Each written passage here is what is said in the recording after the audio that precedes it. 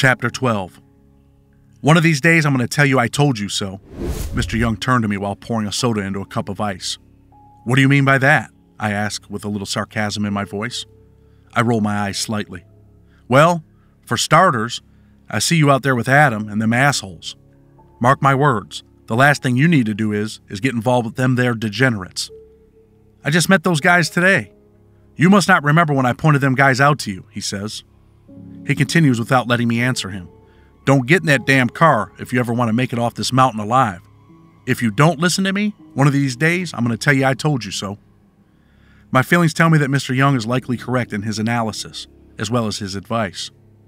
A scolding from him is how my first night at Big Sandy started.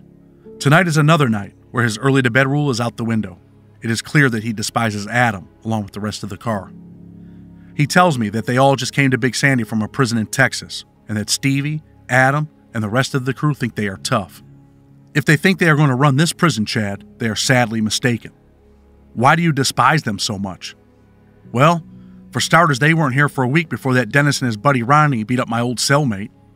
What did they do that for? I asked with intent curiosity. For no goddamn reason, he says with anger in his voice. He sat in a seat he has been sitting in inside the mess hall that they came here and claimed. They think they own those seats now. Them seats belong to Obama and Eric Holder, not the Boston, New York damn East Coast car, or whoever they claim to be. I smile pondering his statement about Eric Holder. Since he is the Attorney General, maybe he owns the seats after all. He is in charge of the Justice Department and the federal prison system. If Mr. Young told the car that Eric Holder owned those seats, they would likely beat him up as well. More than half the guys in the car probably do not even know who Eric Holder is in the first place. But Mr. Young has no real power or say so. They would kick his ass, old or not, if he expressed his opinion to anyone in the car. Let me tell you this, young man. I have seen guys just like them a lot in this here prison. They don't last long. Those boys will be in more shit than planters got peanuts. This was the last thing I wanted to hear given my recent decision to join the car. I am deeply bothered by the fact that I pledged my allegiance to this car. With everything Mr. Young has told me, I cannot possibly tell him what I did. If I did, he would surely go off like a runaway train. Keeping this to myself seems like the better option. I feel like a small child when the child knows he has done something wrong. Anxiety, confusion, and stupidity mix. As Mr. Young talks, it feels like I'm being scolded by my father and I'm trying to hide the shame of a bad choice. God only knows what I have gotten myself into. Jumping in headfirst was a mistake on my part, and deep inside, I know it. As I drift off to sleep, I find myself anticipating my future here at Big Sandy and wondering whether Mr. Young is going to tell me he told me so. The morning arrives with the sun bouncing brightly off the window, illuminating the cell. Mr. Young rolls out of bed. I lay there silently, making excuses to myself, contemplating the many bad decisions I've made over the course of my young life. Joining this car triggered regrets. Feeling sorry for myself will accomplish nothing. I shake the thoughts from my conscious mind and slide out of bed to begin my day. At breakfast, I find myself with my newly acquainted car members. Reality sets in quickly. Most of these men are living in a fantasy land. It is apparent we are all caught in some phony prison movie where the script is already written. I ponder that thought. There is a fake bravado of being a tough guy. Many men pretend to be something they are not. It becomes obvious that many prisoners are faking it to make it. Behind these walls, hardened men seem to create their own problems to make trouble with other prisoners over things that would be trivial in society. It seems absurd that a person would want to create a hostile environment for themselves, an environment riddled with violence, but that is what happens on this side of the razor wire. There are men here who are truly barbaric, hateful, and cold hearted, but many of the guys are simply pretending. In order to survive, you have to play the prison game the way it exists a game in which the rules change daily. Joining the car was the first move in the prison game for me. When Dennis was recruiting me, he told me my next move had to be my best move. Because I was a younger white guy from New York, there really was no choice. Had I refused the offer, they would have sent missiles to attack me. This is something I would later learn. There is no choice with the East Coast car. The only way you leave is as a victim of violence. In convict code, this is called beating someone off the yard. Once a group of prisoners assault a prisoner, that prisoner is no longer safe in population. The Bureau of Prisons will then transfer that prisoner to another prison to start anew. At breakfast, I meet a guy named Ace. He is the shot caller for the Ohio White Independent car. Ace and his comrades have an alliance with our car. Like Stevie, he has a hatred for white gang members. Arrogance rolls off him as he tells me his story. For Ace, his future holds nothing but this crazy world. He was in his 20s when he was sentenced to over 200 years for robbing banks. His future holds nothing but anguish and despair. You can almost see it in his eyes when he speaks. For him, the free world was like the Titanic, sunk on that cold night. Like Stevie, he latches onto the car. It's all he has left. Having the keys to the Ohio car is his safe haven. That safe haven does not last long for Ace at Big Sandy. Months later, members of his own car find him to have committed one of the ultimate prison sins. Some time ago, Ace was put in the Special Housing Unit, SHU, pronounced SHU, for assaulting another prisoner. While in the SHU, he accepted a black prisoner from Ohio as his cellmate. Once Ace served his time in the SHU, he was returned to general population. A plot has been put into place to beat him off the yard. The yard seems still. Most people know what is going to happen, or at least they thought they knew. Two young white convicts from Ohio are stalking Ace a tall white kid named Slim, the other a stocky blonde with tattoos on his face. Ace has his back to the two villains and is engaged in a heated verbal dispute with another Ohio prisoner. Slim sneaks up behind him and swings for the fences. Slim's first punch crunches with the impact, landing to the side of Ace's face. Tattoo Face begins to swing wild, glancing blows as Ace ducks, dodges, and pulls a prison shank from his waist. Tattoo Face sees the knife and bolts from the scene, leaving Slim to his demise. Ace is stabbing Slim. The two bodies lock up and fall to the ground. Slim is on the bottom, his hands flailing as Ace mounts him. The sirens blare out. The loudspeaker instructs everyone to get on the ground. A warning shot reverberates off the concrete walls as Ace slashes downward with his sharpened bone crusher. Another warning shot does not deter the onslaught of violence. Slim fights for his life.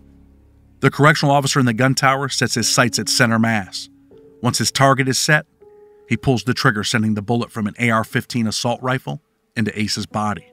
Immediate impact. Ace topples over the lanyard, holding his shank in place. Slim scrambles to his feet, sucking in air. He darts from the area where he almost lost his life. Confusion engulfs the yard as panic sets in among both staff and convicts. Seeing Ace shot radiates the reality that losing your life is a real possibility. It is not going to always be warning shots. Staff members are coming from everywhere. Medical personnel with red medical bags rush to Ace and roll him over onto his back. One nurse seems to be brushing dirt off what looks like his intestines seeped out of the gaping hole in his stomach. Ace is staring into the sky as if he sees Satan's angels coming to take him to purgatory. The nurse is pushing his intestines back into his body. It is too late for Ace.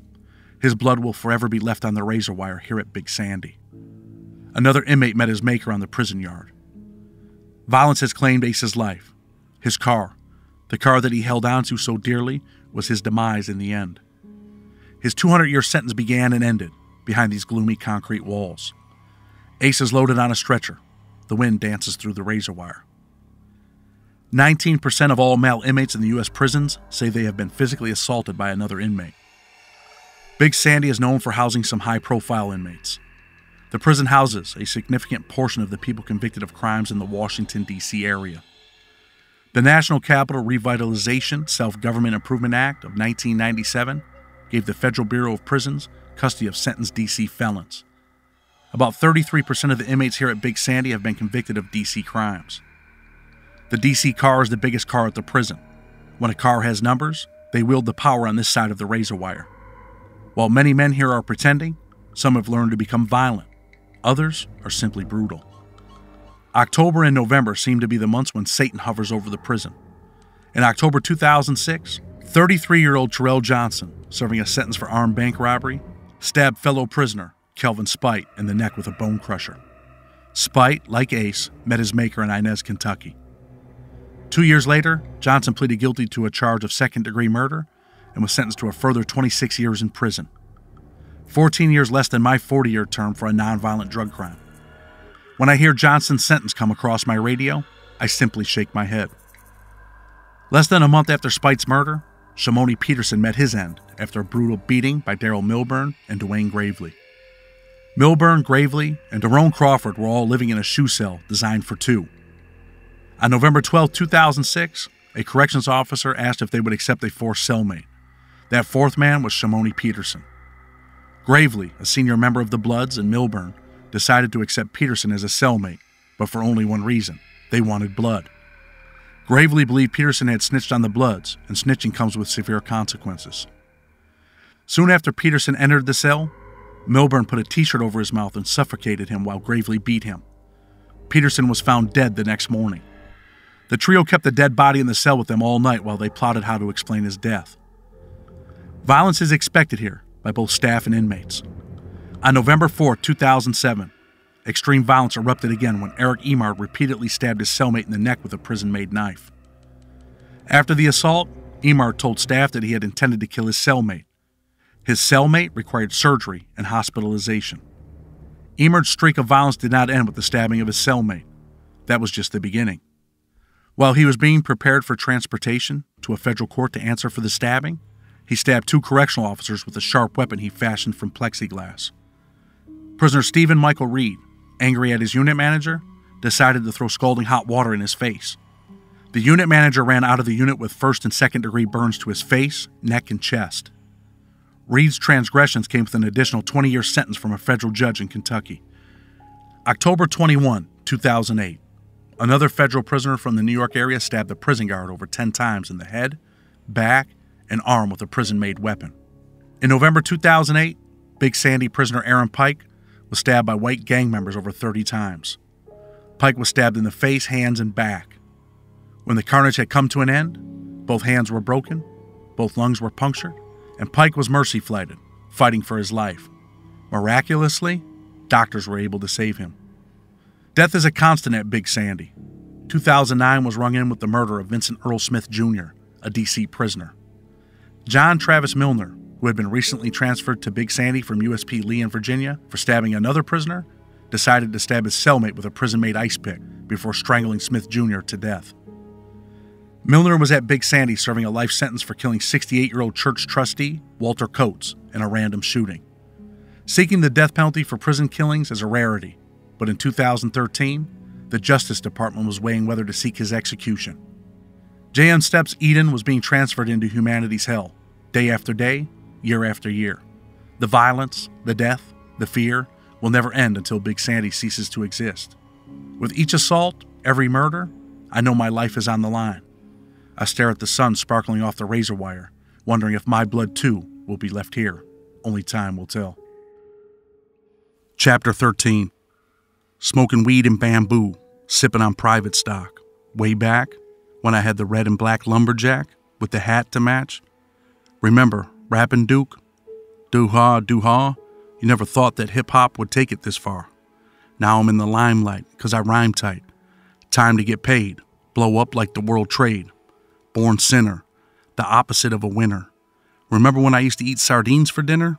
Peace to Ron G, Brucey B, Kid Capri, Funkmaster Flex, Love Bug, Starski.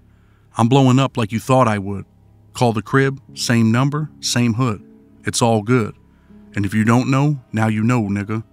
You know very well who you are. Your father's a vicious crackhead, Booper ragged as we sat at his grandmother's table bagging up the first ounce of cocaine we ever bought. Juicy was playing on the floor model. Fuck you, your mother's a crackhead too, I replied. We both laugh in our ignorance. My heart flutters from the nervousness and excitement that comes with bagging up cocaine. I sit at the front table so I can see the front door in case someone tries to come in and take our hard earned product. Within days, we went from a fake product to a real ounce of cocaine. Half for Booper, half for me. Two glass plates sat in front of us. We took the razor blades to the shiny rocks. As I chopped the rocks into smaller dosages, I thought about all the money I wanted to make the new starter jacket I would buy, and the matching pair of brand new Bo Jacksons. Money would help me escape my loneliness. It would help me buy the happiness I desired. The possibility that I could lose my life over $10 bags of cocaine was never even considered. Losing my drugs was impossible. I was starting my rise to the top. In my stupidity, I never even thought that prison was possible. I was too smart to get caught, or so I thought. Once our product was packaged, we headed out to a corner where there was a house that people were selling their own drugs from. Me and Booper had been out there stealing their customers for days. When one of the addicts would pull up, we would call them before they went to the door. Most of them would come to us, but some of the loyalists went to the door. It was not long before one of the loyalists told the guy on the other side of the door what we were doing. That's when Cooley came out of the door with a pistol in his hand. You bitch ass motherfuckers stealing my customers? He yelled as he fired a shot in the air. We ran through the snow, hopping fences, racing back to the safe confines of Booper's grandmother's house and the floor model. Sitting in front of the floor model, we contemplated our next move. I knew I wanted that starter jacket and new Nikes, but now the plans had to change. If we were to continue in this business, I knew we both needed a gun. We need pistols, Booper. That's what we need. Two burners, man. Yeah, we ain't letting his bitch ass run us off. Those are our customers now, Booper replied. The street hustling life was taking off, full throttle. For the meantime, we are going to sell cocaine to Booper's uncle's customers. Don't let him hold you down. Reach for the stars. You had a goal, but not that many, because you're the only one. I fell asleep on Booper's couch, smiling, dreaming about reaching the stars like Biggie said. Chapter 14 The morning is new, with the sun shining bright. I tuck my commissary items away and put my radio in my pocket. I contemplate going outside. Perhaps I should stay inside. Part of me wants to stay inside to keep watch over my locker. The other part of me wants to go to the yard to taste the fresh air. Fresh air is a small thing to most, but I look forward to it. The stale air contaminated with cigarette smoke and the dirty smell of sweat pushes me towards the hallway. I convince myself that my commissary will still be in my locker when I return, but I really have no idea if it will be. I am unsure if people are stealing here. Outside, I have to pass through a metal detector. The detector is not plugged in. The correctional officer assigned to man the machine and ensure no inmates take bone crushers or steal to the yard is oblivious to the fact that there is no power. He's more concerned with the conversation he is engaged in with a petite nurse. The conversation might be his way of avoiding a confrontation with any convicts transporting weapons to the yard. One man after another passes through the detector without a single beep. How many men have weapons on them is anyone's guess. The handball court seems to be calling me.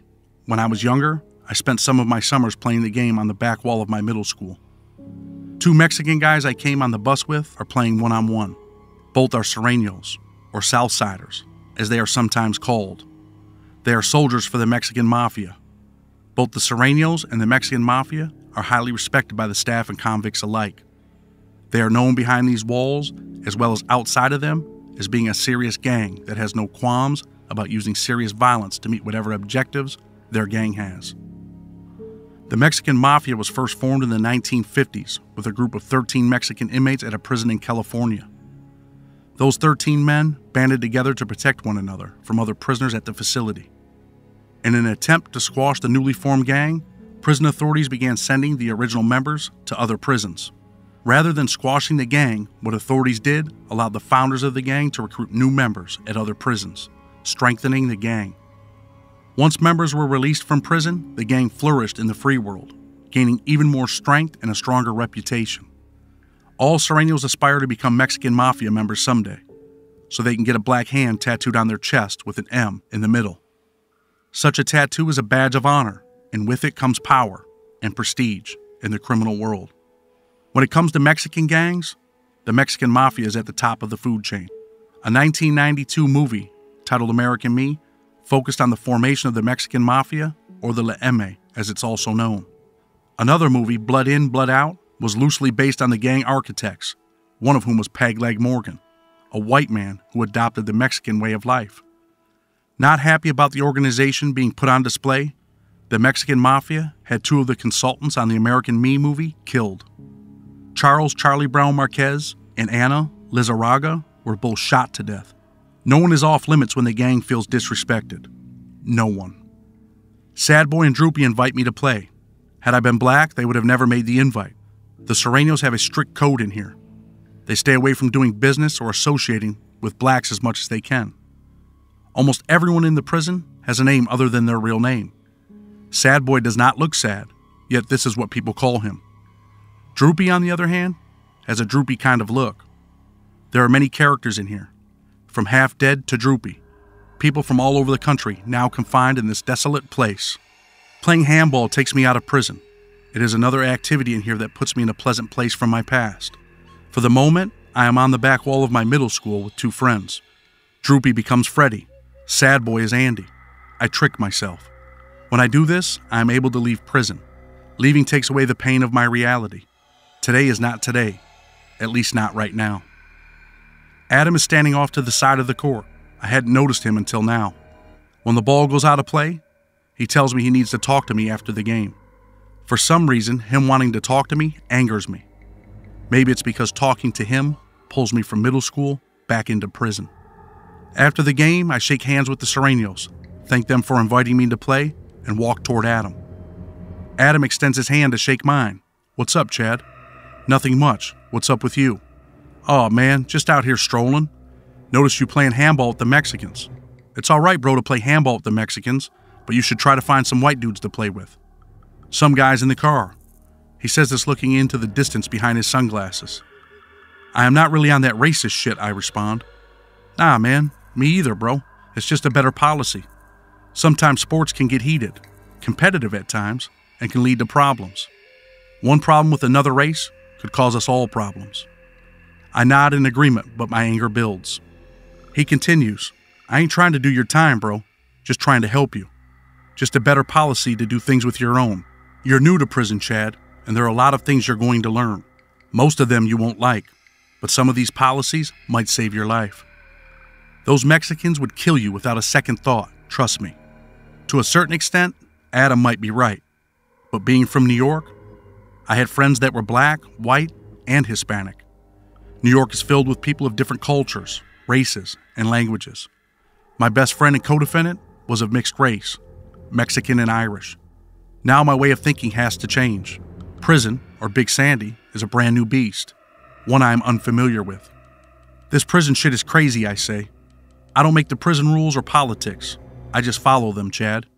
It's better for all of us that way. It's all good, I agree. Adam and I shake hands, parting ways. Once back at the country cottage, as I have been referring to my cell given all of Mr. Young's knickknacks that adorn our housing area, I open my locker. My commissary items are still there. Mr. Young's angry look prompts me to initiate a conversation. What's up, Mr. Young? I ask. You just ain't going to listen, are you, boy? He snarks. I seen you out there with them guys again. What guys? Oh, don't play stupid with me, young man. What the hell do you mean? I ask. You was out there hanging out with that long hair fella. What the hell's his name? Adam. Yeah, and he ain't nothing but trouble. I was playing handball and he wanted to talk to me. I tried to explain, but it's useless. I'm going to tell you I told you so when something bad happens with you. And if you're in the hole and I don't get to see you, you just remember what old man Mr. Young told you. There's an overwhelming feeling that floods my inner self, telling me that the old man is probably going to be correct with his advice. Mr. Young's scolding makes me feel like a kid. He has been here a lot longer than me, and I'm sure he knows more than me. Mr. Young is wise in both years and prison experience. Feeling like I still have to explain myself, I respond Mr. Young, I'm just trying to be cool with everyone. I ain't trying to offend no one. Well, for your sake, hopefully you won't be cooling off in the morgue with a toe tag on for messing with those scumbags, he says, raising his voice a little. Hopefully not. Yeah, what would your mother say if she got that phone call? He asks. Look, you're an old man, and I'm not going to argue with you or talk about this bullshit. Think about your mama before you make a bad choice, he hollers out to me as I walk out of the cell. I don't know if I am mad at Mr. Young or at myself for making foolish decisions. The toe tag comment, coupled with the phone call to my mother's statement, have my insides in an uproar. Standing against the wall, I pretend to watch television while I envision a morgue. There I am. I'm looking at myself on a cold slab of stainless steel with a toe tag and stab wounds. My mother crying with a phone to her ear. The thought of dying in this place is real. My mother getting the call hurts me more than the dying part. If it were not for my mother, maybe the dying part might be better than serving a 40 year sentence. Avoiding Mr. Young for the rest of the day is easy, but I cannot escape being locked in the cell at night with him. Once the doors lock, he begins. Chad, I don't mean to be hard on you, and this is prison.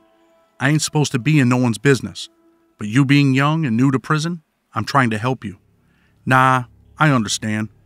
There is no reason for me to argue with Mr. Young or to make excuses. I know he is right about everything he told me. I am telling you, this prison is not like any other prison you ever seen, Chad. As I lay in my bed listening to Mr. Young, I find it hard to believe that my life has been reduced to living in a locked concrete bunker with another man three times my age and a toilet. wondering if my mother might get that call. Chapter 15 Living the street life comes with consequences. For me, those consequences came with a severe sentence and my placement in a prison where my life could be taken at any moment. Feeling the need to be alone with my thoughts, I opt for the yard this morning. Mornings are the one time where there is peace here at Big Sandy, as most of the convicts are required to be at their jobs. Being new, no job assignment has been made for me, and with a 40 year prison term, a job is the last thing I want. Guys in here work eight hour days, five days a week, for about $20 a month on average. For some convicts, jobs pass the day. I would rather pass my day playing handball or walking the track. My hope is that today will be better than yesterday. Some of my uneasy tension has become a bit suppressed with the realization that this is my life. Every morsel of Big Sandy is a part of my life now. From the violence to the razor wire, it is all part of me. I earned it according to my sentencing judge. 40 years in Big Sandy was sufficient for my nonviolent drug conviction. Some days I feel like I don't give a fuck about anything. It is usually the days when I replay my sentencing day. The day when my mother disappeared and left me wondering if I would ever see her again. Reality is, I have to be here. Making the best of it is the only option. There are more people on the yard today than usual. My peaceful walk alone with my thoughts fade quickly as I easily recognize that there is tension on the yard. The tension is so thick you can cut through it with a knife. Already, my prison instincts are coming to fruition. One of the most important tools I have learned within the first few days of being here is that I must be observant. Being able to recognize everything going on around me is one key to surviving in this hellhole. Scanning the yard like a hawk soaring over an open field looking for prey, I notice Mexican prisoners forming small groups around the yard. This world I now live in is a dog eat dog world filled with lions and hyenas, with very few zebras. Deep discussions are being had between the shot caller for the Sureños and some of his soldiers. My secret hope is that whatever problem is afoot has nothing to do with the whites and Mexicans. There are about 20 white convicts on the yard, including me, compared to at least 75 Mexicans. We would get slaughtered. Thinking back to what Adam told me about the Sureños, I know every one of them is likely armed with a shank. This thought convinces me that as much as I might not want a knife, it may very well be time to get one and keep it on me at all times. Being here in Big Sandy, I know now that I would rather get caught with it than not with it. As the thought filters through my subconscious, I find out the problem with the Sureños has nothing to do with the whites when a large Mexican soldier grabs one of his comrades from behind in a chokehold. The victim is another Sureño named Noki, who also lives in the same unit I am housed in. More Sureños circle Noki. They deliver punches to his head, face, and body. Before long, he is rendered unconscious. The large Mexican lets Noki's limp body fall aimlessly to the ground. Other people join the fray, dishing out powerful kicks to Noki's head and body. One of the kicks wakes Noki from his comatose state. Using the nearby fence, his fingers lock onto the shiny metal fence as he pulls his body up. Finding his feet, he stumbles on a large push broom. Fighting for his life, he begins to swing the broom like Barry Bonds on steroids, chasing the home run record. Come on, puto, Noki screams like a wild animal as the warm blood runs down his face. One of the soldiers rushes in, swinging wildly. Noki's swing connects perfectly with the side of the combatant's head. Watching the first guy fall sends Noki into a raging fury. He backs up to the fence yelling profanities in Spanish. His swinging intensifies in barbaric nature. Four men rush at him at the same time. The broom connects with the side of one of the attackers. This slows Noki down. The others pounce on him like mountain lions on a fawn. The alarm finally goes off, ordering everyone to the ground. Most of the prisoners comply, but not the combatants. Once again, Noki is on the ground. The broom is now being used on him.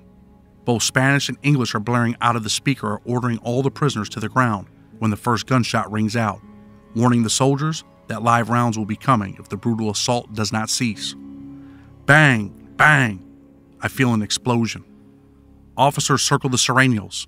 Small black balls sail through the air, hitting everyone in the vicinity. One man screams. I look up, shielding my eyes. I think he is shot. But no. Concussion grenades are being deployed to break up the melee. Another one explodes, and I cover my head with my arms. Warning shots ring out again from the guard towers.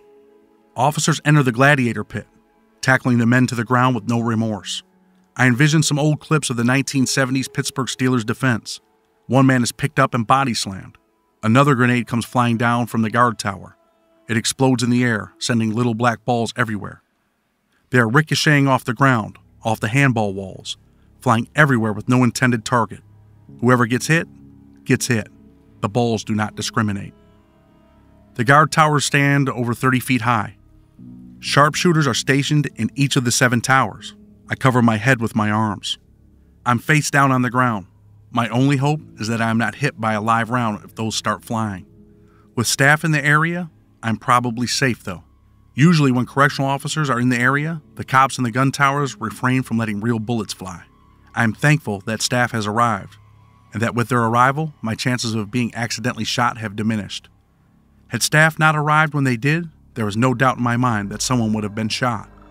These combatants had an order from the shot caller to complete a mission assaulting Noki until he died or until the cops arrived to stop them. The attackers had no intention of stopping. Even the gunshots did not deter them. The threat of possible death meant nothing. In the real world, the thought of getting shot or killed would be a deterrent. In here, the real world has long been forgotten by these men. When you are in a place like this with a sentence of forever, death becomes a welcoming thought. Once everything is lost, there is nothing left to live for. There is no fear of death. A man with a life sentence has been through so many ups and downs on that long criminal justice roller coaster that no emotions remain. With sentences ranging from 30 years to life, there is nothing left that can be done to hurt the man who has been stripped of life, liberty, and the pursuit of happiness. That man sees death the same way a Muslim martyr does. The hope is that there will be something better on the other side of the rainbow, because this side has nothing but suffering pain, and loneliness. Fuck rainbows. I don't like them no more. Many people like me are serving draconian sentences for nonviolent drug offenses. What is mind boggling to me is that while these 40 year sentences for nonviolent drug crimes are being handed out, the average sentence in federal court for murder is 22 years. Had I killed someone, I would likely have been sentenced to 18 less years. The federal criminal justice system no longer has a parole system. When that door slams behind every prisoner with a crucial sentence, there are only two ways out of here winning relief in court or a body bag. Sadly, most people will leave here in a body bag. With my sentence, if I behave, I will get about five years off my term. Instead of getting out at 64 years old, I can get out at 59 years old. That truth disturbs me. With no incentive to do the right thing, many of the men around me become vultures, living a barbaric life riddled with anger and violence on an astronomical level. Behaving yourself in prison is almost impossible because other prisoners' actions dictate your reactions. Those reactions might require a person to stab the other person. Sometimes those reactions don't leave a person any choice. The prison machine is designed in such a way that it applies oppression. It's designed so the prisoner never wins. It's designed so the prisoner always loses. Like with Noki, he was fighting for his life. Had he simply not fought back, he would certainly have died. Once he fought back, he earned a write up for fighting. There is no such thing as self defense in prison. Once a prisoner starts swinging, he loses 27 good conduct days on average. When Noki gets back from the hospital, he will be taken in front of a disciplinary hearing officer. That's his reward for fighting for his life. He will now have to spend 27 more days in prison, where any one of those days could be his last. His gang will no longer want him after the brawl. Noki is a marked man a man marked by one of the most vicious prison gangs in the system, the Sureños. Noki's provocation was a common one. He owed the Crips for heroin. Owing money to the blacks is not allowed by the big homie, the man who calls the shots for the gang. Noki has two yard violations. He was dealing with the blacks, and he couldn't pay his debt. In order to avoid a physical conflict with the Crips, the beating was on full public display. Hands laid, debt paid is a common theme in here. The debt was paid with Noki's blood, kind of like Christ paying the debt of sin on the cross. In Big Sandy, the sinners keep sinning.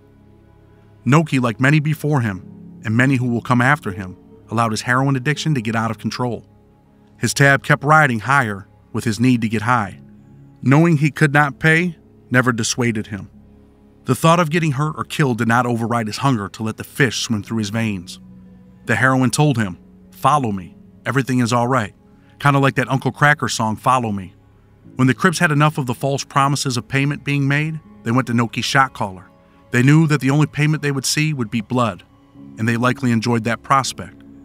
When assaults like the one on Noki happen, it is akin to the spectators at the old Roman gladiator pits, cheering for the victim to be finished. Most of the men here enjoy seeing a good, violent scuffle, although they secretly pray they are never on the receiving end. Had the Crips taken it upon themselves to assault Noki, the whole yard would have erupted like a festering volcano. It would have created a full fledged war between the Hispanics and the blacks. Such a war would have reached every other maximum security prison in the federal system that houses Sureños and Crips. The easiest way to settle the dispute was to punish Noki by vicious means. His death or his transfer to another facility after his physical discipline evened the score. Dealing with the blacks, owing a debt to them ensured he was ostracized from his gang. For the rest of his time in prison, he is a marked man. Another unwritten rule in here is that you never stop beating or stabbing another prisoner until either staff intervenes or you kill the person. This is how every car, group, or gang operates. One thing that I am intrigued by is why Noki's gang brothers allowed him to get so far in debt, knowing the end result was going to be an attack like this. My guess is the people who knew were getting high with him. The others had no money to pay for the heroin, but Noki had both the balls to deal with the blacks and enough swagger to convince the Crips that he had money, at least initially. The cycle of prison life is vicious, like a pack of hungry wolves in Yellowstone National Park, searching for vulnerable prey. Two hours of laying on the hard concrete causes pain to creep into the muscles of my legs. Some of the men are laying on their backs enjoying the warm summer sun. Others are talking amongst themselves. I too have changed my position to ease my discomfort. On my back now, I stare into the deep blue sky, tricking myself into believing that I can see Jesus Christ's face in the clouds. For a second, I whisper a plea for freedom to him. I blink my eyes a few times, and he's still there in the clouds. It's almost as if he is smirking at my request. I snicker at the absurdity of it, that I think I see him. Or maybe my snicker is because of the absurdity of him granting me freedom from here. Hell, he could have intervened a long time ago and put it on one of the jurors' hearts to vote to acquit me. He could have put it in all their hearts. Instead, he decided to send me to Big Sandy with a 40 year sentence so he could sit in the clouds laughing at me. Whether he is really there in the clouds or not, I throw a middle finger to the laughing cloud. Fuck you, I mouth silently. This ain't funny. Before I can say anything more, officers are ushering us up to our feet. Brushing the dirt off the front of my pants, I scan the yard.